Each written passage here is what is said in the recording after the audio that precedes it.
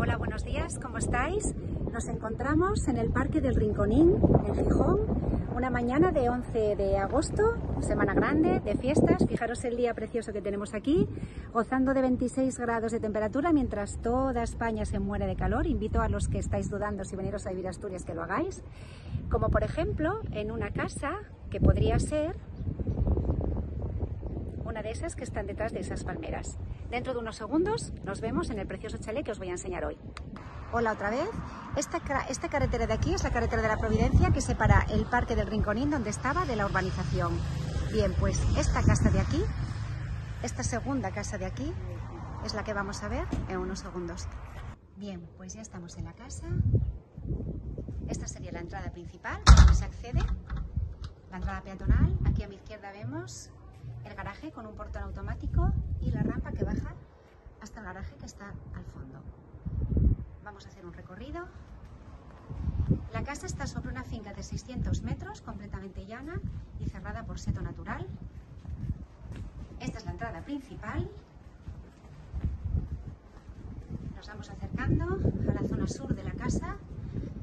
Fijaros este porche con cristal protegido para poder poner aquí una mesa y no preocuparse del nordeste asturiano. Esta es la piscina climatizada. Y este sería la entrada principal de la casa.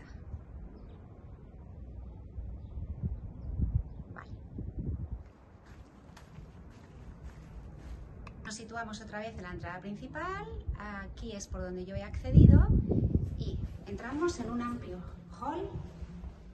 en el que tenemos a mi derecha, primero, un aseo, un baño de servicio, pero es un aseo completo con plato de ducha y ventana. Aquí tendríamos una cocina preciosa, hecha a medida, con muebles de madera, con todo lo necesario, lavavajillas, microondas, horno. Eso que veis ahí panelado es la nevera de nieve, todos los electrodomésticos son de muy buena calidad y salida al porche y al jardín. Y después, desde el mismo porche, podríamos acceder al salón, pero lo vamos a hacer desde el hall, para que os ubiquéis siempre en el mismo punto. Hall, decíamos, cocina, baño y salón. Este sería el salón. Fijaros las dimensiones del salón, una chimenea. El salón tiene vistas al jardín. ¿Vale? Fijaros las dimensiones del salón. Y este otro cuartito que hay aquí, separado por puertas correderas, puede ser un comedor, o un despacho, o una zona anexable perfectamente al salón para los que queréis un salón de mayores dimensiones. Volvemos a salir por aquí al hall, me vuelvo a situar aquí y a mi izquierda vamos a la habitación principal de la planta de abajo. Hago esto porque quiero que os fijéis en cómo está el suelo. ¿Vale? Esta sería una habitación doble con un baño en suite. Aquí al fondo hay un vestidor. Además de este vestidor que está completamente eh, vestido, para la redundancia, tenemos aquí esta otra puerta con zapatero, para bolsos y caja fuerte.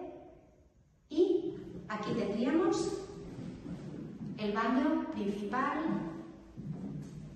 de la habitación de la planta de abajo, con una ducha, con mampara y ventana. Esto sería la parte de abajo y ahora vamos a subir a la parte de arriba. Estamos en la parte de arriba en la que tenemos tres dormitorios dobles y dos baños. Vamos a entrar en el primer baño, fijaros qué bonito con este azulejo tipo mosaico lavabo de mármol, los sanitarios, ventana y aquí tendríamos bajo este, bajo cubierta, tendríamos la bañera con una mampara de cristal. Detalle del lavabo, detalle de la cenefa, fijaros qué bonito es el baño. Bien, salimos y nos encontramos con un segundo baño muy similar, pero en tonos arena. Fijaros qué bonito es este, suelo, azulejos, el detalle del espejo. Y aquí nos encontramos exactamente igual, otra bañera con mampara, aprovechando el bajo cubierta. Perfecto. Nos volvemos a colocar aquí y aquí tendríamos a mi derecha, a mi, enfrente de mí, perdón, dos habitaciones que son gemelas. Voy a pasar ahora a continuación. Y a mi derecha, desde donde yo me sitúo, otra habitación doble. Pasamos a esta primera habitación, que es un dormitorio. Y no me puedo resistir a ir de frente a las vistas. Fijaros dónde estamos. Fijaros qué vistas tenemos. Aquí hay sol todo el día, porque estaríamos con la habitación sur. Fijaros las dimensiones de esta habitación, es realmente grande. ¿Vale? Armario empotrado. Otra habitación gemela.